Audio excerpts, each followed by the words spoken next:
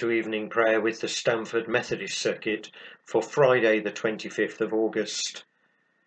As we continue to follow the pattern of prayer and reflection suggested by the Methodist Church Prayer Handbook, we return to our readings from Jesus' farewell discourses to his disciples in St John's Gospel, reading from chapter 14. We call each other to prayer using words from the Prayer Handbook's suggested psalm for the day Psalm 107. O give thanks to the Lord, for he is good, for his steadfast love endures for ever.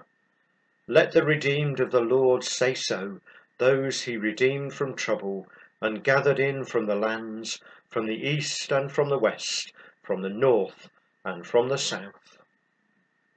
Let us pray. Yours, O Lord, is the day, yours also is the night. Cover our sins with your mercy as you cover the earth with darkness, and grant that the Sun of Righteousness, Jesus Christ, may ever shine in our hearts to chase away the darkness of all evil. We pray in the name of the same Jesus Christ, your Son, our Lord and Saviour. Amen. The Gospel reading, which we'll share later, is very brief. However, its brevity is far outweighed by the significance of its message, which is rooted in love, love which leads to Jesus' gift of God's Holy Spirit. The hymn suggested for today in the Methodist Church Prayer Handbook uses words written in the 9th century in Latin and translated into English in the 17th century. It's a prayer for the gift of the Holy Spirit's anointing, for the Spirit to aid us in knowing God the Father through Jesus, God the Son. A hymn set to a traditional plain song melody that is traditionally sung at ordination services. It is Come, Holy Ghost, our souls inspire.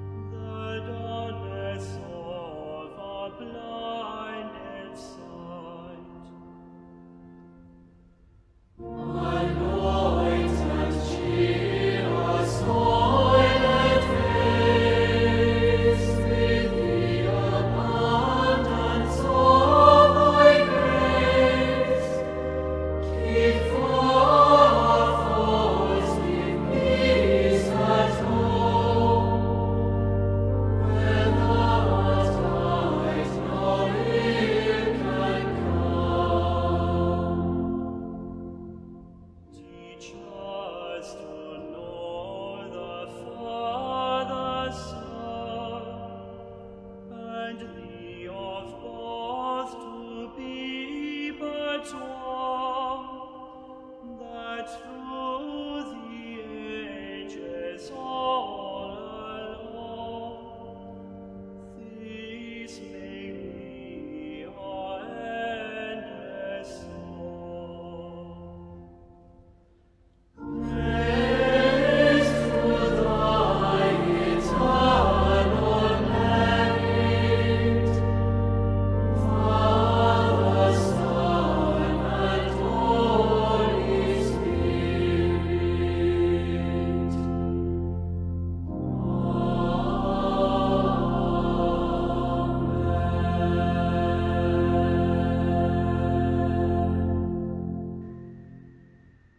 our uh, Bible reading is just three verses from chapter 14 of John's Gospel, verses in which we're privileged to continue to eavesdrop on Jesus' farewell messages to his closest followers. The reading is John chapter 14, verses 15 to 17. If you love me, you will obey my commandments. I will ask the Father, and he will give you another helper, who will stay with you forever. He is the Spirit who reveals the truth about God. The world cannot receive him, because it cannot see him or know him. But you know him, because he remains with you and is in you. In those few verses, St. John holds together Jesus, his heavenly Father, and the gift of the one who is variously called the Comforter, the Helper, or the Advocate, the Holy Spirit of truth. The Father, the Son, and the Holy Spirit are interrelated, inseparable, and what binds them together is the circle of love. We continue to reflect on this dynamic relationship of love using some words written by Maggie Hindley, a retired United Reformed Church minister. Dear God, you are always on the move, always active. Within your own three-sided person, there you are, creating and keeping each other company, making peace and pouring out love, listening and communicating truth. You do so much together as Father, Son, and Holy Spirit, source, guide, and goal, creator, healer, wisdom, playmate. And you made us like yourself. You made us for keeping each other company and rejoicing in each other's successes. You made us to encourage each other to be forgiving.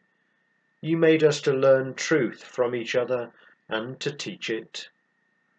Dear God, dear Trinity, we ask you to open us up, to reach out to each other in love, to inspire us to be always active, always on the move, echoing wisdom's call to all that live, to learn to love that truth. Thomas Tallis is considered one of England's greatest composers. He lived during the 16th century, composing during the reigns of Henry VIII, Edward VI, Elizabeth I, and Mary I. Tallis survived because he was capable of switching his composing style to suit the demands and changing religious preferences of these various monarchs. In 1565, during the reign of Elizabeth I, Tallis composed and published a four-part motet based on today's short gospel reading. It's in the traditional English, which became familiar through the authorized King James Version of the Bible. If Ye Love Me is among the most frequently performed of Tallis's compositions. In 2010, it was sung at evensong at Westminster Abbey for the visit of Pope Benedict XVI, and in 2018 at St George's Chapel, Windsor, during the wedding of Prince Harry and Meghan Markle. We listen now to Tallis's composition as we continue to reflect on the dynamic relationship within the Godhead, Jesus' farewell promise of the Holy Spirit as a comforter to his disciples.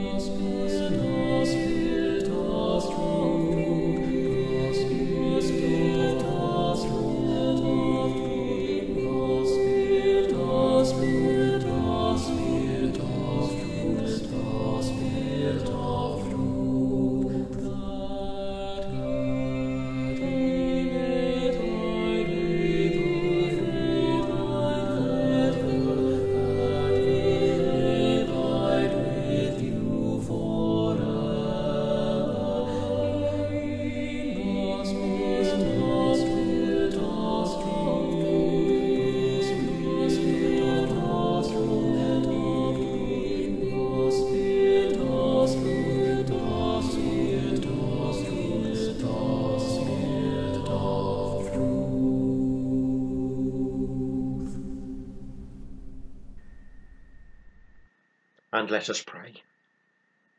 O God, who in Jesus Christ revealed your love for all people, help us in everything we say and do to express that divine love, sharing the good news with conviction, openness and sensitivity by the leading and enabling power of your Holy Spirit.